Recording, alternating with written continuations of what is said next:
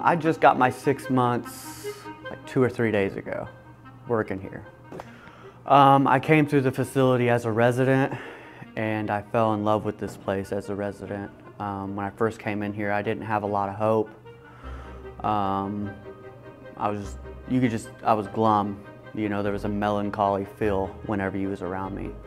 And then I saw how people fell in love um, with recovery. People were reading their NA books and uh, I decided to crack it open, take a look at it, and it's everything that I've ever needed, you know, honestly.